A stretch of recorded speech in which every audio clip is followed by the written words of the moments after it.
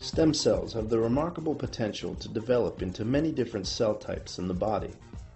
Serving as a sort of repair system for the body, they can theoretically divide without limit to replenish other cells.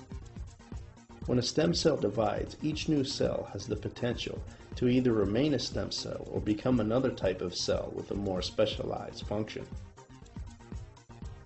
This promising area of science is leading scientists to investigate the possibility of cell-based therapies to treat disease. In vitro differentiation of embryonic stem cells occurs when the cells are allowed to aggregate in suspension culture in the absence of mouse embryonic fibroblast feeders and leukemia inhibitory factor. These cell aggregates are called embryoid bodies. The hanging drop method is one effective procedure for the differentiation of stem cells into embryoid bodies in vitro. Hi, I'm Xiang Wang from the laboratory of Phillip Yang in the Division of Cardiovascular Medicine at Stanford University.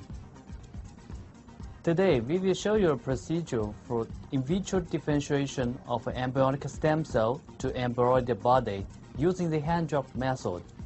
We typically use this method to differentiate embryonic stem cell into cardiomyocytes.